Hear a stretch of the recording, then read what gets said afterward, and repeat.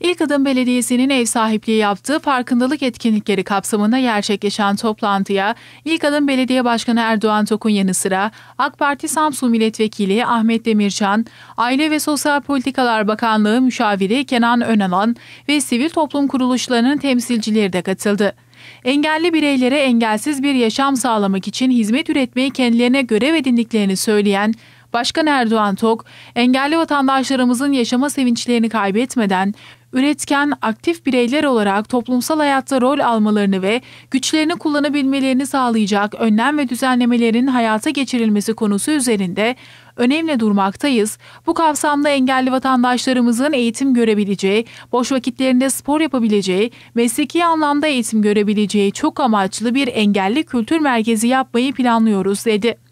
AK Parti Samsun Milletvekili Ahmet Demircan, AK Parti hükümetinin her geçen gün engellilere yönelik çalışmalarına, hizmetlerine ve projelerine hız verdiğini söyledi.